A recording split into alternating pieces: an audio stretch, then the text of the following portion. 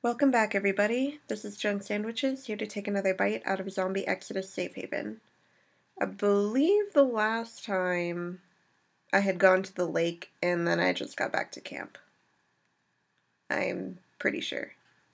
Oh, good, and I think it actually remembered that I did that this time. Yay! Okay, so you check the time, 8:15 p.m. From the hillside, you see Jamie and Rachel returning to camp. They look tired and dejected. When you glance over to Jamie, he looks back to you and shakes his head, a clear sign he made no progress fixing the van. Well, that sucks. Hmm, what should we do? Reinforcing the camp might be a good idea, although I think I'm not in very good shape either. I don't know. Oh, yeah, look at that. I got hurt. but everything else is looking pretty decent. So, not too bad. Um, let's see. Oh, look, you can heal other people. That's cool. Hmm. I think, ooh, scouting the area would be fun too. I'll take some painkillers really quick. Just so I can be a little bit better. Um, we should reinforce our camp. I think that would be a good idea, so I'll ask her. You walk over to Gina, who brightens up as you draw near. Hi, Derek, what's up? Since we might be here for at least a night or two, we need to reinforce our campsite to keep out the infected, intruders, and wild animals. Will you take the lead and help out? A smile broadens over Gina's face. I'd be happy to help. Where should I get started? Hmm, what should we do, guys? Digging a trench would help against zombies, that's for sure. Smokeless fire pit, set up a perimeter alarm system. That might be good. A sky nest? That's cool. Damn, if I had known, I would have gathered more shit. Spiked barricade would be nice too, but I don't have the stuff for that. Ooh, surrounding the campsite with barbed wire sounds like a good plan. Let's do that. that way nobody can, like, sneak in, at least not very easily. Gina bites the side of her lip. Not sure if it'll deter more than the small animals, but it might wrap up an infected. If we have the materials, it's worth it. If rodents sneak over to our food supply, they could cause havoc. I'll jump on it. Gina heads off to start working, and you know that in time the reinforcements will be finished. Cool. You check the time, 8:30 p.m. From the west side of the clearing, Kelly bursts into camp, out of breath, barefoot, and disheveled, shirt torn on the right sleeve. She collapses to her knees and drops a bloody knife to the dirt. Crying, she places her head on the ground. Kelly, are you okay? Jamie says and rushes to her side.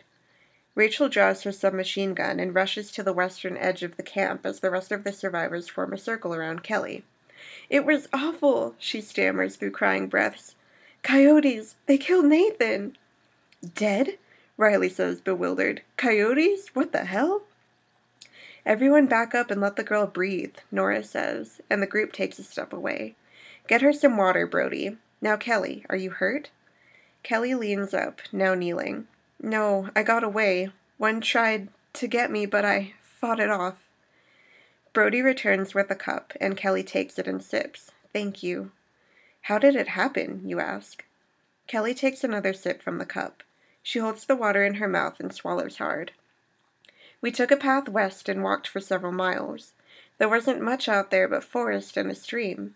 We followed a small path leading southwest with a sign for a gas station, but there were animal tracks, so we decided against taking it. We didn't make it far before we heard howls from nearby.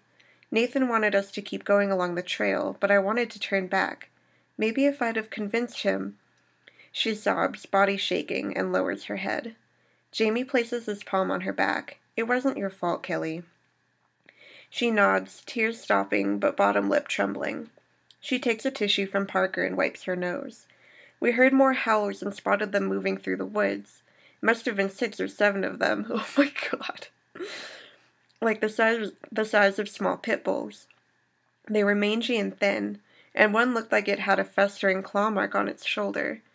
They were growling and making these excited barks. Nathan told me to run, but I just. I froze.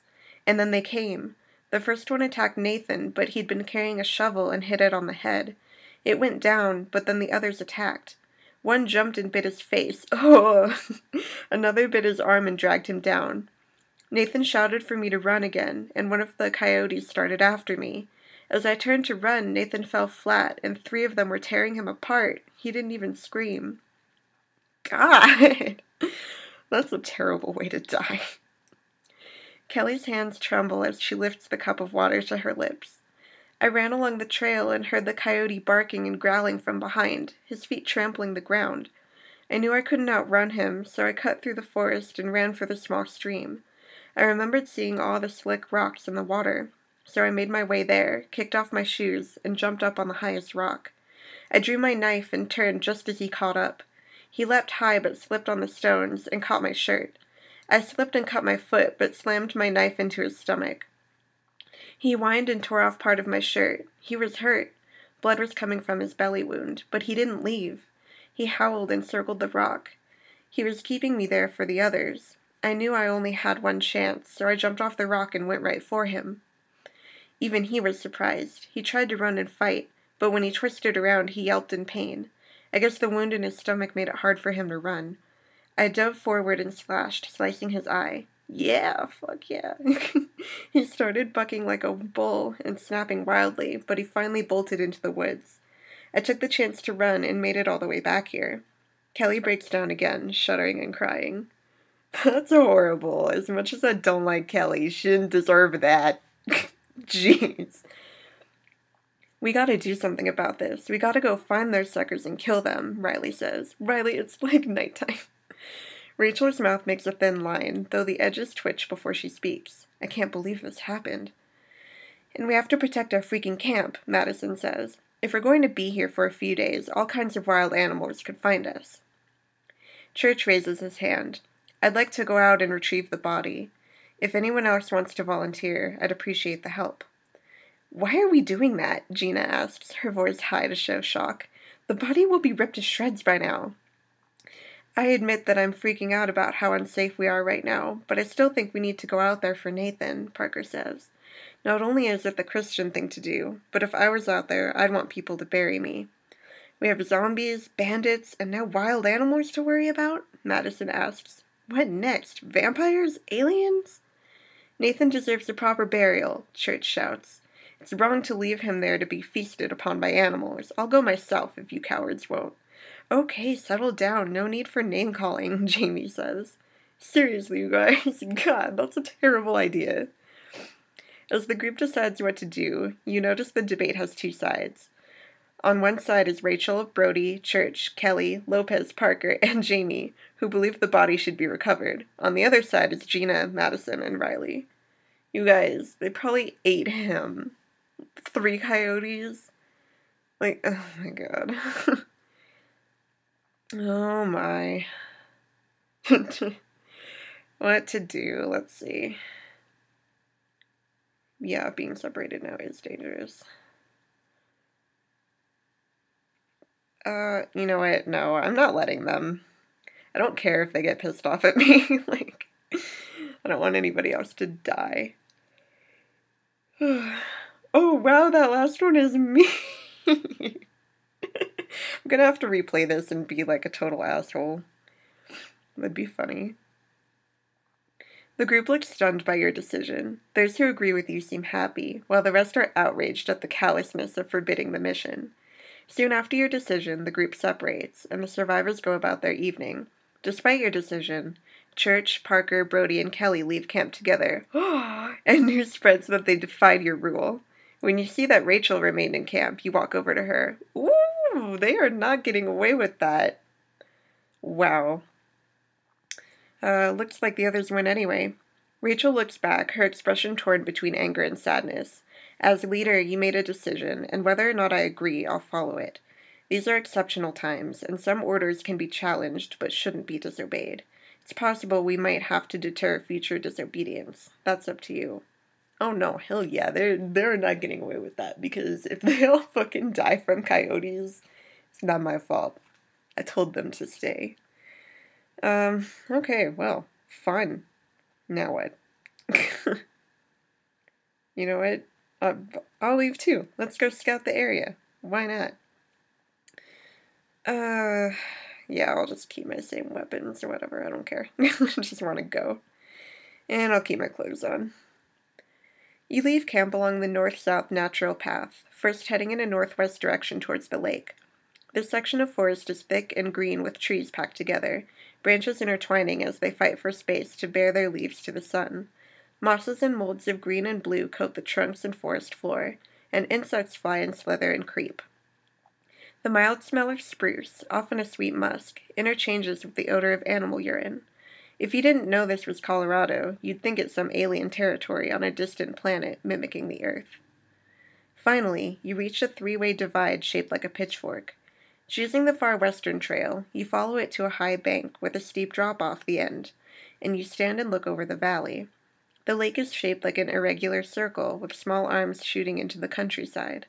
On the far side, several miles away, several houses and larger commercial structures pop up at irregular distances. It would take hours to find a way around the river, unless you found a boat to go by water. It might not be worth the effort until your vehicles are fixed, as crossing the river is no easy feat. Besides, the homes are likely overrun by the infected. Backtracking on the trail, you cut to the east away from the lake. The forest thins, though the path ends, forcing you to slow down. Eventually, you come to the highway and a chance to see what lies beyond the accident site where your caravan is stalled. The asphalt rolls on for a mile north and winds out of sight. A burnt out car blocks one lane close to where you walk down a short hill. A news van sits along the shoulder of the highway, ten yards back towards your campsite. The blue 7 News logo adorns the white van. A large antenna protrudes from the top, along with a satellite dish. With nothing else around, you, um, yeah, let's check the van. Why not? Have a little danger. You walk over to the van and reach for the back door to swing it open. As your hand touches the handle, you see the door is actually ajar. You hear a sudden growl from inside, causing you to recoil. The growling sinks in, and your hand shakes as it reaches for the handle again. You yank the door open and prepare to attack. No one leaps out, and you stare into the back of an empty vehicle. Playing from a small TV monitor, a video shows the face of a zombie. The growl echoes out of the monitor, the same noise you heard before. You step inside. The news van has numerous monitors, including the one you saw on loop, along with an array of electronic devices, sound and video gear, and several computers. Splashes of blood on the console and floor have dried. The satin, er, the stain near the side door is congealed like a sheet of plaster, and a photo is lying face down, matted to it. You try to peel the photo off the floor, but the blood holds it. The area is so cramped you can barely see into the small front compartment. The video stream restarts, showing the images flashing on the screen, and the sound of the zombie roars again. With the monitor still running, you can't help but wonder how long the power can run. Hmm, this must not have happened very long ago. Search for the power. Oh, yeah, that's a good idea. You're not sure how long the van has been abandoned, but it should have run out of power after a few hours. There must be multiple batteries or a generator. You inspect the monitor and find numerous wires leading from the back. It takes a few minutes to figure out which one is the power cord. And you follow this red wire down the monitor, under the console, through a series of equipment filled bins, and around a broken shoulder mounted camera, into a rectangular box which you deduce is a dedicated battery. Sweet. So, do I get to take the battery? I guess I took it. um, let's scavenge. As you start to look through all the, the equipment, electronics, and mechanical devices, a picture forms in your mind of newscasters on long trips filming for long periods of time with every conceivable doohickey and thingamabob they can pack into a van. Those are like things Woody would have said. Oh, I'm sad. You won't be able to take it all with you, and a lot of it is in disrepair. You separate out what's useful from the junk until later, when you'll decide what to take. A flashlight, a multi tool, batteries, electric parts, mechanical parts, metal parts. Nice. This van must have a large fuel tank, and chances are there's some gasoline left. In a crate, there's some old rubber tubing. You can use it to siphon out the remaining gasoline into an empty plastic container. Hey, you, a voice says from the console. Um, you glance around the back of the van. Nothing is moving in the area. Hey, I'm talking to you. On the monitor, a zombified man is staring at you. hey, my name's Earl. He's wearing a 7 News cap and leans back in a chair you recognize inside this van. He lifts a slender, grayish white bone and picks his teeth with it. What are you doing? Uh, I'm searching the van supply. No, moron, I can see that. I mean, what are you doing with that? You glance down at your M9 pistol pointed up at your face. Whoa, what the fuck? when you look up at Earl on the monitor, he leaps forward, cracking the screen from the other side. You stumble backwards, slamming into the wall of the van. Everything closes in around you. You wheeze in long breaths and feel faint. You burst from the back of the van and run to the shoulder of the road, hands on top of your chest. You fill your lungs with sweet air, crouch over, and squeeze your lips shut until the dizziness stops and the feeling of nausea passes. God! You won't go back in the van to search any more of it. You only go back in to grab a few things and go. You have the following items Holy fuck. That was scary. I guess that's what happens when you have delusions for your character. Um, okay, well, we're talking about mechanical and metal parts for traps and stuff, so I guess I should take those for sure. Ooh, the portable generator will be nice too. So I'll make sure I take that. Yes, please. Five more items. Uh, let's see. How many flashlights do I have? Uh, four? That's a lot. Although I suppose more is good, but I don't know. Um, how many batteries do I have? Uh, five packs. Sure. Batteries. Take electrical parts too. I don't know what I can use them for, but they'll probably come in handy. Uh, gasoline. Yes. How many more? Two more items. Hmm. Heavy battery. Does that mean like a like a car battery type of battery? Maybe. Can take one more item. How many multi-tools? um, looks like none. okay. You leave the van, turning your sights to the two paths to take. Should we go back or? No, we'll continue. You climb the rise to the other side of the forest, where oaks and pines dominate in hues of green. The natural path picks up again, curling south. Along the way, you scan your path and identify a number of edible offerings of the forest. You come upon short stalks of light green, almost yellow weeds. You pick one from the dirt and break the stem, and a thin, water like fluid seeps out. From this, you identify it as pearl. purslane? I guess. Purslane a leafy vegetable similar to spinach. Nice. You put a leaf in your mouth and taste the sour and salty flavor. Purslane has a high content of vitamins and minerals, especially calcium and omega 3 fatty acids. Circling a tree, you find a whole plot of naturally growing purslane, and you spend a short while picking bunches. In time, you have several bags filled with them. You walk for another 30 yards and come upon a break in the woods something of a clearing similar to the one your group is using for its campsite. A low growl calls out, and you reach for your M9 pistol. Tied to a tree, a zombie hangs against the trunk, bound by barbed wire. The small prongs dig through her shins, stomach, chest, and upper arms, with her tainted blood seeping from each cut and flowing into her sundress, giving it a tie dyed pattern. She struggles against her restraints, teeth gnashing air and arms and legs struggling for freedom, causing the wires to cut deeper. Confident the infected won't be able to escape her ties, you look through the rest of the campsite.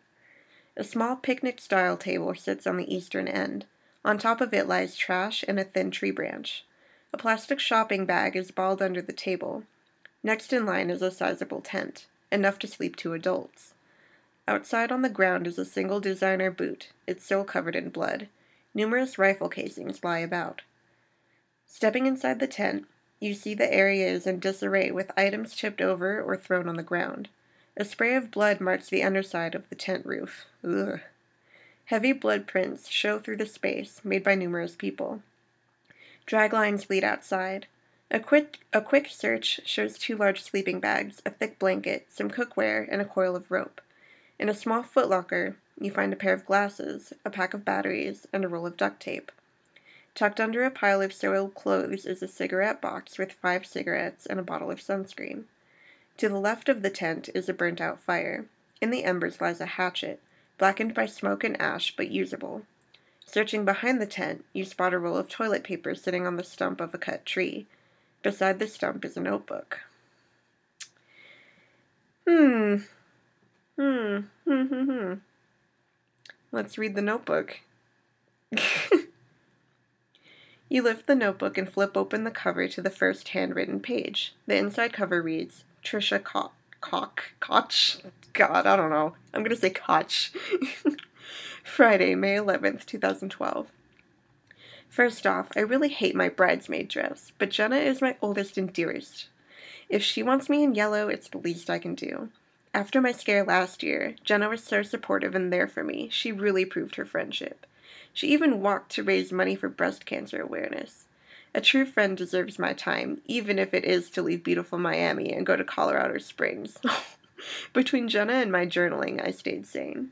Oh god, she came here for a wedding and then the apocalypse happened. That sucks. At least the hotel sounds amazing, the Saints Manor. It's modern and palatial and five star. The head chef of the hotel's main restaurant was a contestant on Top Chef. Once we get to the hotel, we have complimentary couples massages set up, and even Evan is looking forward to that. I wasn't sure he'd make it. His promotion means he has to work long hours, but at least I can quit my job. Teaching was okay, but I can't see doing that for the rest of my life. This taxi took forever to get us where we had to go, but it gave me time to write. I need to jot my thoughts down. Evan is fine on his iPhone all day, playing one of those stupid games with falling blocks or something Tetris. Staring at a phone for hours doesn't appeal to me. We're pulling into the driveway of the hotel. There's some kind of commotion ahead. I hope it doesn't delay our check in. Right when the apocalypse happens, poor girl. Saturday, May 12th, 2012. I'm finally sitting down for a few minutes to write. So many thoughts are going through my head. I'm exhausted, hungry, stressed, and scared. I feel like I'm living in a disaster movie, but I know this is for real. Evan has been my saving grace. It's like he knew what to do, but it's not like he was trained for it. He's an accountant, for God's sake. After the attacks at the front of the hotel, we made our way into a room and barred the door shut. I love mini bars, but I never thought we'd have to live off of one. We stayed there until this morning, and at first light, we left with only our clothes and some things Evan scrounged from supply closets and other open rooms. Leaving was a nightmare. Evan had to kill the diseased people just to get us outside. He had no choice. Part of me feels so deeply sad about anyone dying, but the virus is making them turn mindless. Jenna didn't even realize it was me.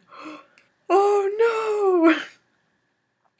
No matter how much I begged her to stop, she kept trying to bite me. It was the worst moment of my life. Watching Evan ram a knife through her head, I can't even think about it again. A part of me died. We stole a car and sped out of town. We didn't get far. The National Guard has closed highway travel. I don't even know where we're headed anyway. The news says the virus is spreading all over. New York, LA, Philly, and even Miami has fallen. I can't reach my family. Evan says we need to get away from everyone. Maybe even go to the mountains. I'm not made for this, but Evan has the strength for both of us. We made it as far as the military blockade allowed and ditched our car to go by foot. Evan had to do things, things he would never do days ago. We saw a family with a camper parked on the side of a road. The mother and father were so busy arguing, they didn't see Evan until it was too late. If the man had just listened and didn't fight back. What's done is done now. I guess leaving them with some food and water for the kids was still humane for him, or was still humane of him. I feel like we will lose all humanity soon enough. God! We hiked for hours and hours. Evan said we're far enough away to make a camp and rest. We're beat. Sunday, May 13th, 2012. Last night, things seemed to go our way. We slept for a few solid hours each. Being out this far is safe for now. We've come across few people, diseased or living. We saw a few campers nearby, an old man and a younger man, maybe a father and son. The old one had a nice smile. He reminds me of Santa Claus, though his beard is gray. I want to meet them, but Evan doesn't want to go near them. This morning, a few people came by our camp. Even though Evan told them to leave, he's super on edge. They gave us food and blankets and a flashlight. All of them had guns and said they were forming a militia to defend against the diseased. Some were on leave from the Marines, and they had already taken over a FEMA camp. Keith was nice, quiet, but seemed to be in charge. Natalie talked mostly to Evan, like she was keeping him busy or kind of had a crush on him. What a bitch. the third one had a weird name, like Denton or something. He didn't talk at all and just stared at me with pervy eyes. I don't want to know what he's thinking. I realize Evan is tired and paranoid, but I had to hold him back at one point from fighting those guys. At first it was all casual and friendly between all of us, but then Keith told us we should join their militia. Evan told him no, and tempers flared. I got in between them, or I got in between them all and managed to stop it from escalating. They said they'll be back to check on us. Evan wants us to leave our camp. I begged him for us to stay. He listened to me, but I hope it's not a mistake. I realize it's dangerous to be here, but where is it any safer? Uh, girl, girl, that does not sound good to me. Okay, let me take your tent. and also, let me take your other stuff. Because you're dead and Evan is not here. so, blah, blah, blah. I can take 10 more items. How many blankets? Sorry if this part is boring, you guys, but you know, you know how it is. Honestly, to me, this part's kind of fun to do. I have no cookware. Whoa. So let's take it. Because I kind of, I don't know, part of the fun of this game is managing your inventory and trying to make sure you have good supplies and stuff, if you know what I mean. Toilet paper. Oh, we're gonna take, like, I would hate to run out of toilet paper in the apocalypse. That would suck. You'd probably have to have like a designated cloth for wiping yourself or something. Ugh. Yuck. Sunscreen sounds useful. And we don't have any. So let's take it. Also, so oh, wooden parts and duct tape were mentioned for um, crafting stuff to protect us, so yeah, I'll take both of them.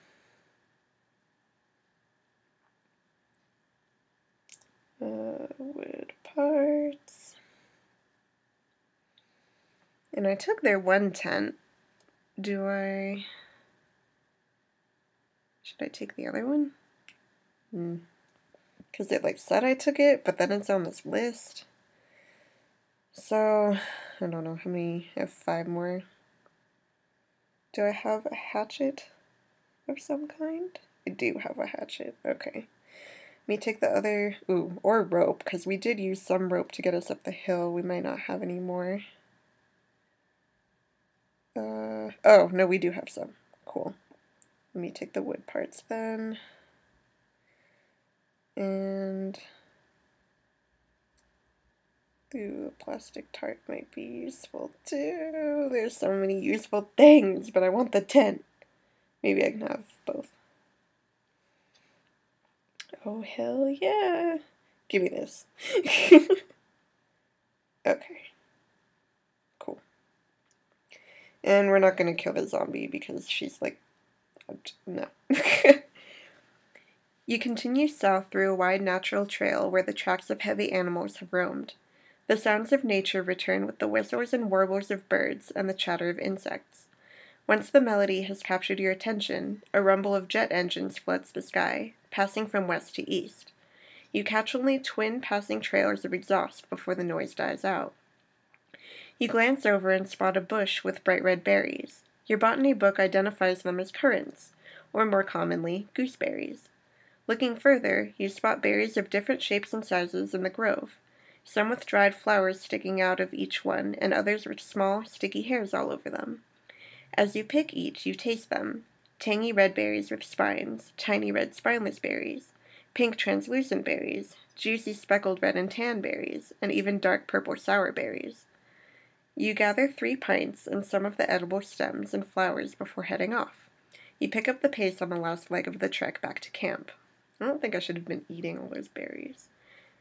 Okay, uh, this looks like a checkpoint. I feel like every time it's like you check the time and the time changes, it's like a checkpoint and the game will remember what I did.